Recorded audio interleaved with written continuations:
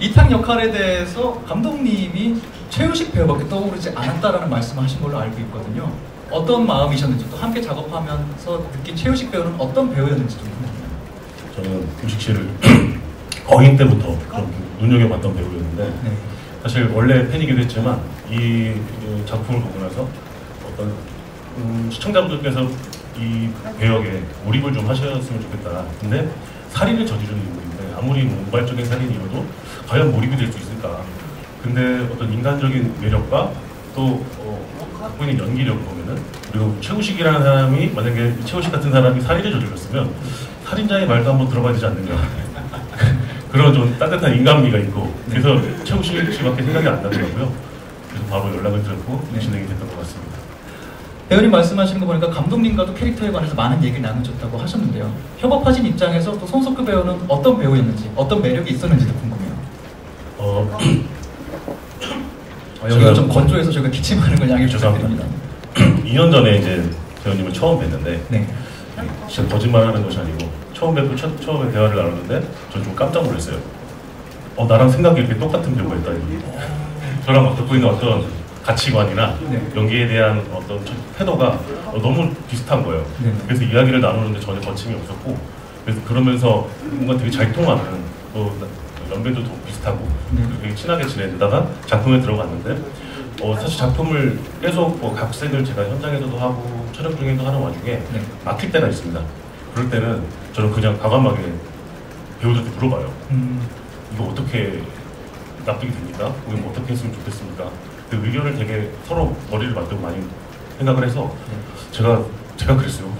한번 대사를 써보시면 안 되나요? 이 정도로. 그래서 직접 써보시고 제가 또 검토하고 이런 과정들을 겪었거든요. 네네. 그러면서 뭔가 어, 생각이 진짜 되게 닮았구나 하더라. 그래서 뭔가 이게 어떻게 보면은 되게 연출자로서 자존심이 상할 수도 있는 부분인데 어, 저는 전혀 뭐 그러지 않았거든요. 네. 그래서 되게 저도 한두 배워간 입장으로 네. 작업을 했던 것 같습니다. 그 자체가 제일 매력이시고 물론 뭐 물론 뭐 매력이라는 거는 뭐 대한민국 top이라고 생각을 하는데 또 그런 어, 깊이 있고 어, 연기에 대한 어떤 어, 진중한 자세가 저희를 되게 감동시켰던 것 같습니다. 그, 그거 저도 아니 그러니까 굉장히 유기적으로 작업을 했었는데 네. 그 감독님 그 말씀하신 거 기억나는 게 처음 만나서 이제 아직 그 작품에 대해서 뭐 어떻게 서로 이제 그 뭐 얘기만 하고 있었을 때 네. 저도 그게 되게 놀랐었던 게 이제 저희는 이제 작품을 찍기 전에 계속 탈고라는 자- 작업을 네. 거쳐서 완성된 시나리오가 나오기 전에 이제 아직 미완성의 시나리오에서는 뭐, 뭐 조금 빈 곳이 있을 수도 있고 좀 궁금증을 자아내거나 의아한 구석이 있을 수도 있는데 제가 그거를 이제 감독님한테 내일 만나면 물어봐야지 해가지고 이제 적어봤는데 네. 그게 그 리스트들이 너무 똑같았어요. 어, 우리가. 그거를 나는 이런 거는 조금 더 develop을 하고 싶다 이런 것들이 네. 그때 저는 확 아 나는 정말 믿고 따라야겠다 이 생각을 확 했던 기억이 나요. 감독님은 또 이희준 씨와 협업하면서 어떤 느낌이셨는지, 어떤 배우라고 느끼셨는지도 궁금해요. 일단 저 캐스팅을 할 때부터 이 역할은 뭐 60, 50대 후반, 60대 정도의 배우를 다 생각을 하고 있었어요. 네. 근데 어느 날 제가 그냥 딱 생각이 딱 선배님 생각이 드는 거예요. 네. 그래서 주변 사람들이 물어봤죠. 네. 이준 선배가 이만하면 어때? 그러면 다들 반응이 에? 그랬다가 어? 재밌겠는데? 다 반응이 똑같았어요. 예. 그 분장을 하면 되는 거고 또 젊은 시절도 나오니까. 네. 그래서 이제 부탁을 들었는데 일주일도 안 돼서 연락이 오셔서 미팅을 했어요. 이렇게 빨리 캐스팅이 진행되는 경우는 거의 없거든요. 어, 네. 네, 그래서 선배님과 대화를, 대화를 나누고 이미 근데 저보다 더 준비를 많이 해오신 거고 네, 그 역할에 대해서 네. 한 번은 선배님 되게 놀러 간 적이 있는데 어, 딱 그 작업실에 네. 그 실존 실화손이 사진이 딱 붙어있더라고요. 어, 그래요? 네. 그분을 닮으려고 그 왜 네, 굉장히 뭐 메소드 연기를 준비하신 거예요. 그, 그 crime 이렇게 제 방에 이 영업 비밀이긴 한데 제, 방, 제 방에 이제 작업하는 캐릭터에 대한 영감을 주는 사진들을 좀 붙여놓는 편이거든요.